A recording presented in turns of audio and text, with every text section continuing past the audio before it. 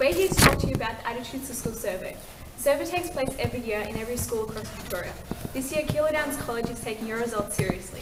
We want you to use the survey to tell teachers how they are doing in their classrooms, what works, and how teachers can change their approach to teaching to make it more fun. This year, Miss Maxwell and the Student Voice team will take your input and opinions seriously and use your feedback to make decisions and improvements to teaching, learning and life at KDC. The survey results will be published in Term 3 for the whole KDC community to see and actions will be taken.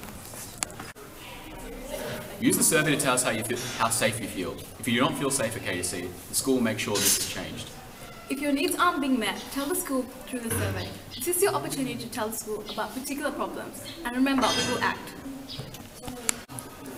Now that KDC has a student voice, we can take other students' concerns seriously. Student Voice will work with the principal class to represent the voice and concerns of all the students at our school. The survey is anonymous.